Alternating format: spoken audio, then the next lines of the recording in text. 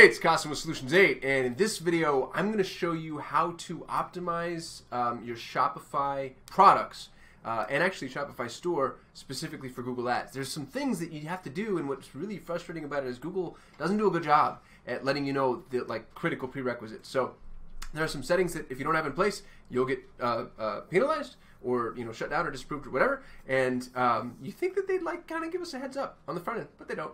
So I'm gonna help you. Uh, let's dive into it. Um, so we're in the Shopify backend. If you know Shopify, then this looks familiar to you. And right now, what I'm doing is I'm looking at an individual product. Um, and incidentally, this isn't a copy creation course, so please don't critique or criticize my copy. Okay. Um, although that's actually going to be the very first thing that I talk about. So you when you're running uh, Google Smart Shopping specifically, Smart Shopping is going to use and rely very, very, very heavily on your product title.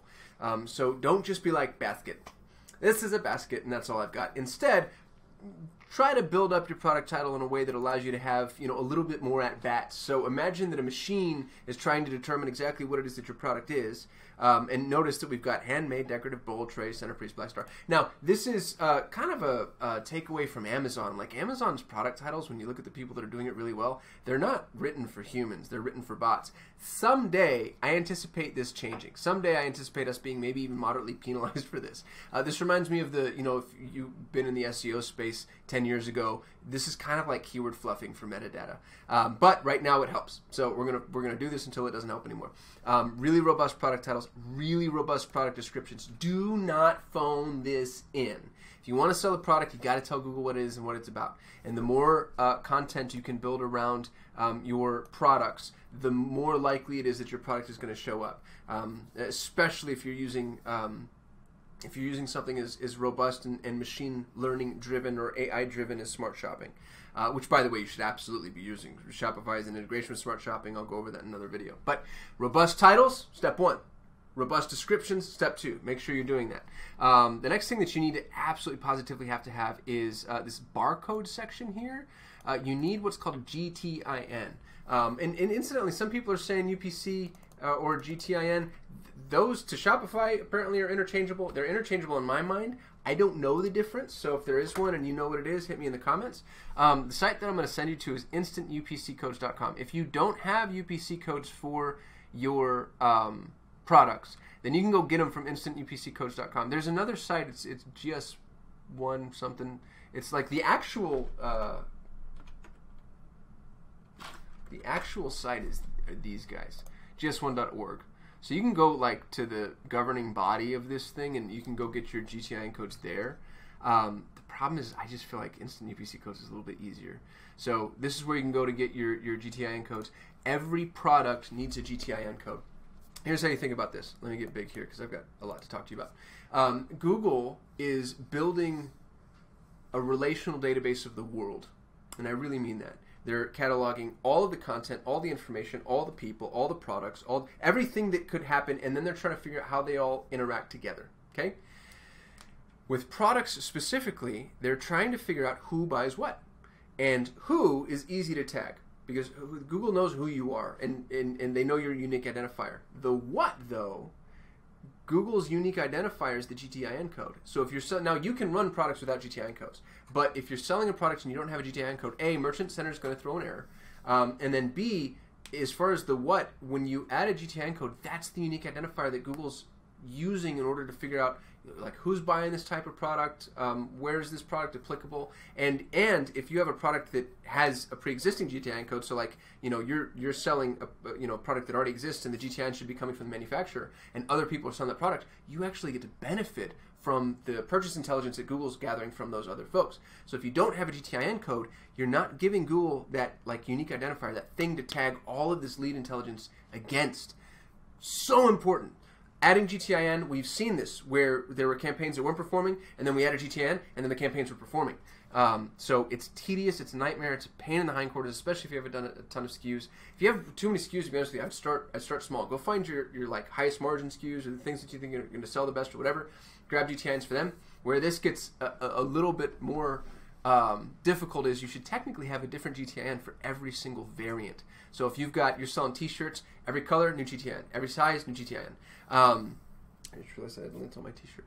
Uh, what was I going to say? You don't have to do that. You can you can cheat it. If you are going to cheat it, the thing to do is to default to the one that's the cheapest. So we did this for a client who was selling um, uh, colognes and perfumes, and you know he'd have a bottle of, of cologne and it would be in you know three different sizes. We got a GTIN for the smallest size because that's the size that's going to uh, be shown inside of the ad. So you see, you know, it's the same product cheapest price, and then you click through, and then if they decide to upgrade upgrade the price, um, we're still giving the credit back to that original lower tier product. Now that's less than ideal, but if you are going to cheat it, that's the way to cheat it. And I hope that made sense. I kind of went off on a little bit of a tangent, but have to have a, a UPC or GTIN code.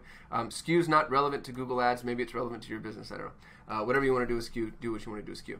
The other thing is weight. You have to have a weight. Google Merchant Center is going to use the weight of the product in order to calculate shipping, and you need to make sure that the shipping that Google Merchant Center calculates is the same shipping that you're charging. If you ever have shipping that's more expensive than Merchant Center thinks it should be, or the Merchant Center is calculated, instant disapproval. Google hates that. They, they think that you're hiding um, uh, margins basically in shipping. So like you're charging exorbitant shipping rates or lying about your shipping or whatever. You need weights even if you have offers free shipping, by the way. Um, and you want to make sure that the weight is the product post packaging. It's whatever the shipping cost actually ends up uh, resulting from, like however this is calculated. Um, the other thing that you want to absolutely have, even if you're not exporting to other countries, you have to have a country of origin. Um, and this is where the product is actually coming from. This is tough for drop shippers. So my drop shippers that are, you know, getting products from a lot of different countries, God bless you and good luck. To be honest, I don't know exactly what to tell you. Um, I don't know how to contend with that. And if you know, drop it in the comments. But for most, you know, Shopify store owners, you know where your products are coming from. Uh, they're coming from one country. Make sure that Google knows what the country of origin is. Um, this is also really critically important too. Um, sorry, I'm looking at my notes to make sure I've gone over everything. Yeah. So, oh, uh, what's really cool is when you uh, connect Shopify with Google Merchant Center, Merchant Center is going to say, "Do you want to pull this information from Shopify?" And the answer is going to be yes. So instead of having to hop through all those hoops, and you're going to uh, already have this information. So that's optimizing the product-based information. Now I'm going to show you something in the settings. I'm not saving my changes. Um, when you're in Shopify, go to settings and then go to legal got to have all four of the things that we're about to see. So you'll see a refund policy, privacy policy, terms of service, shipping policy. Uh, here's what's really cool about Shopify is refund policy template. And Shopify will give you a refund policy template. Uh, same thing with the privacy policy. You can use Shopify's privacy policy template. Same thing with the terms of service. You can use uh, Shopify's uh, terms of service template. Shipping policy does not have a template. You have to write your own shipping policy. Um, here's the thing. You can't phone this in. As a business owner this isn't google ads advice. This is just business advice. If, if you have a refund policy and you've used shopify's template and you didn't read the policy uh, you're asking for trouble. So if you're using the template or not whatever you do please make sure to read the t's and c's um, get a really good handle on what's actually going on because you want to make sure that this isn't going to be something that's catastrophically damaging for your business. You know, if you have a perishable item or whatever, and then you've just used Shopify's wholesale refund policy that says you're allowed to refund things for 180 days, it doesn't really say it. I don't know what it says, but you know what I mean. Like this could end up being a problem, a really big, significant problem. So you need all four of these. You have to have them, and spend the time that it would take to make sure that they're not, you know, diametrically opposed to whatever it is that you're you're actually trying to do from a business perspective. Um, and that's it. That's well, I can't say that's it. That's not like all you need to do for Shopify and Google Ads, but that's kind of like the back end optimization, sort of like dot and i's and crossing t's. Um, I actually want to dig in a little bit more into the Shopify and Google Ads world because there's, you know, Shopify is a phenomenal integration with Google Ads, um, and we've had a lot of success there. We actually ran a challenge called the 3x Shopify Challenge. Shout out to my 3xS peeps um, if you're around. Um, and we'll probably be doing that again. So I'd like to um, maybe plant the flag in the world of you know Shopify plus Google Ads. These things have a phenomenal connection. We've been able to produce some amazing results. I've got a case study video somewhere floating around on some of the um, return on ad spend uh, case studies that we've been able to produce, and most of those came out of Shopify stores. So. I hope this is helpful. Uh, subscribe, please. I'm six people away from a thousand subscribers, and then I can start going live. Um, so if you subscribed, thank you so much. Super grateful to you. I hope I continue to honor that by giving you really valuable content. Thumbs up if you liked the video. Questions or comments in the comments. And otherwise, thanks for watching, and I'll see you tomorrow.